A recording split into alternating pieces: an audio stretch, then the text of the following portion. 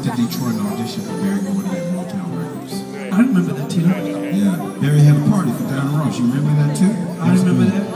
Everybody was there. Marlon, the Temptations, The Supremes, Smokey, the Four Tops, Marvin Gaye, Martha Real, and Ella. the entire Motown Yeah, House. and neither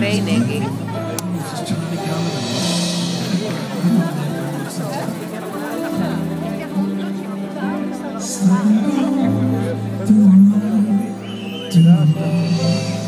know what goes to my mind, Jackie? Is all these rehearsals trying to get it right.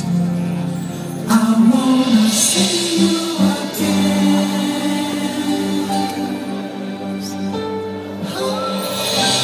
Guys, remember when we got to Detroit, got to Berry's house?